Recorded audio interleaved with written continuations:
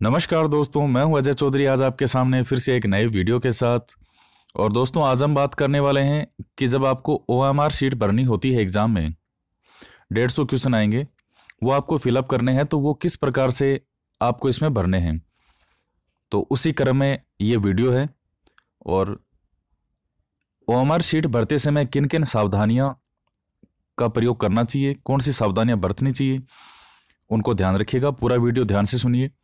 और इसके साथ ही इससे पहले जो वीडियो अपलोड किया था, वो लैंग्वेज से संबंधित था कि एग्ज़ाम में किस प्रकार से लैंग्वेज का चुनाव करना है, कि कोई गलती ना हो और किस प्रकार से आप लैंग्वेज का चुनाव करके अपने पेपर को सोल्व करें। देखिए, ये लास्ट ईयर का पेपर है 2016 का जो हुआ था एग्ज़ाम डेट का, उसकी फ़ोटोकॉपी है।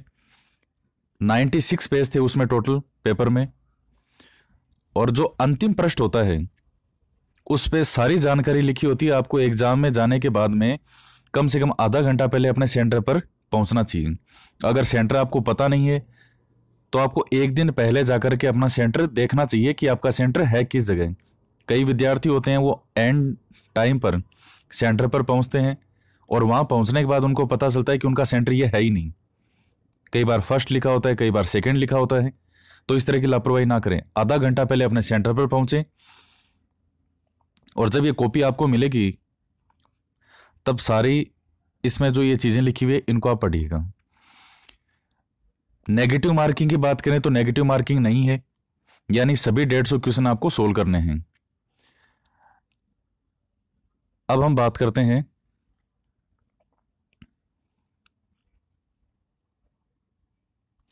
देखिए, ये हो सकता है आपको नहीं दिख रहे हो, लेकिन मैं आपको बता देता हूँ, इसके साथ आपको कोई भी mobile phone, pager, digital diary, Bluetooth, microphone, electronic उपकरण और कैलकुलेटर, इस प्रकार की चीज़ों का इस्तेमाल आप नहीं करें, अपने साथ लेकर नहीं जाएँ, वो सबसे बेस्ट है। अगर इनका उपयोग करते हुए अगर आप परीक्षा में पाए गए तो आपको हमेशा के लिए अयोग्य घोषित किया जा सकता है। अब बात करते हैं जो ओ सीट है, उसके भरने से संबंधित। देखिए, इसमें कुछ और चीज़ें भी लिखी हुई है कि जैसे एग्ज़ाम का टाइम है दस से साढ़े बारह। तो जो लेवल सेकंड वाले हैं, आपको नौ फोर्टी फाइव पे, यानी फिक्स पौने दस बजे ये जो पेपर है, ये दे दिया जाएगा, ताकि आप जो ओ सीट वगैरह हैं, वो उसी में होगी पेपर में, उसको भर सकें और इसके अतिरिक्त, देखिए, जब ओ सीट आप भरेंगे तो ब्लैक या ब्लू बॉल पेन का आप इस्तेमाल कर सकते हैं। ब्लैक या ब्लू बॉल पेन का इस्तेमाल आप कर सकते हैं। जिस समय आप गोला भरें इनमें, ये इन्होंने दे रखा है कि इस प्रकार से जो गोला भरा हुआ है, ये तो सही माना जाएगा। लेकिन आपने जैसे इस प्रकार से कर दिया, या राइट का चिन्ह लगा दिया, या आधा भरा है, या दो गोले भर दिए तो ये सब गलत हैं।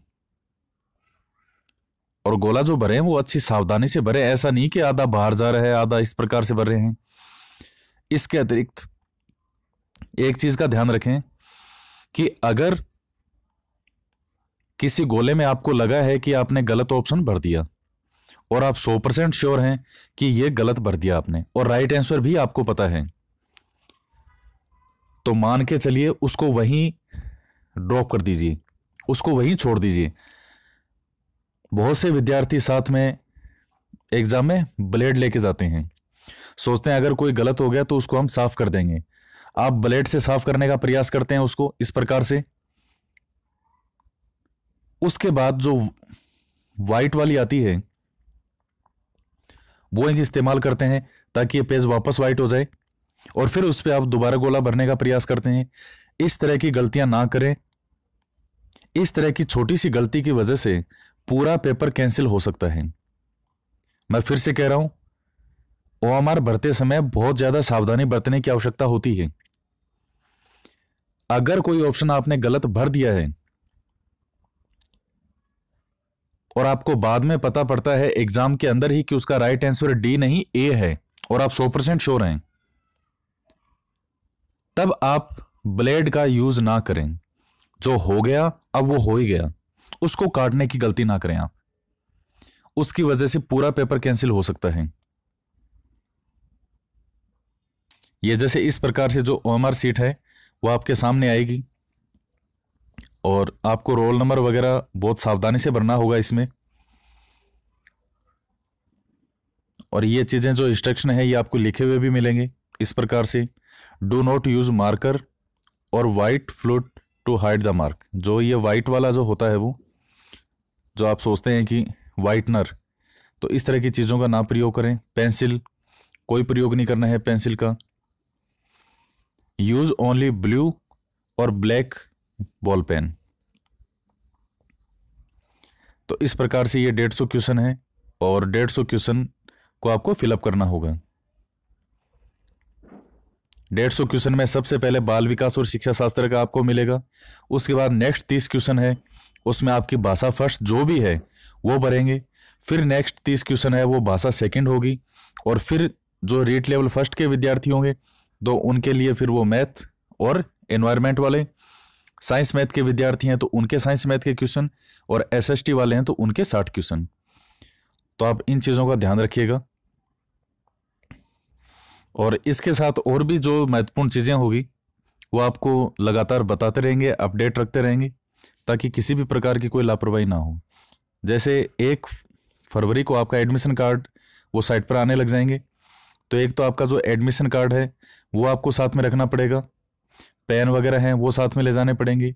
और कोई भी आधार कार्ड वगैरह जैसे जो भी आपका एक पहचान पत्र है, और आधार कार्ड आज के टाइम में सबके पास है, जिसमें आपकी फ़ोटो लगी हुई हो तो वो आधार कार्ड भी आपको साथ लेके जाना है। तो आज के वीडियो में इतना ही, और अगर और भी अगर आपकी कोई जिज्ञासा हो तो आप पूछ सकते हैं। उसको बताने का प्रयास किया जाएगा किसी वीडियो में। और इसी प्रकार लगातार आपको वीडियो मिलते रहेंगे एक से एक के बाद एक। तो मिलते हैं नेक्स्ट वीडियो में एक नए टॉपिक के साथ। जय हिंद, जय भारत।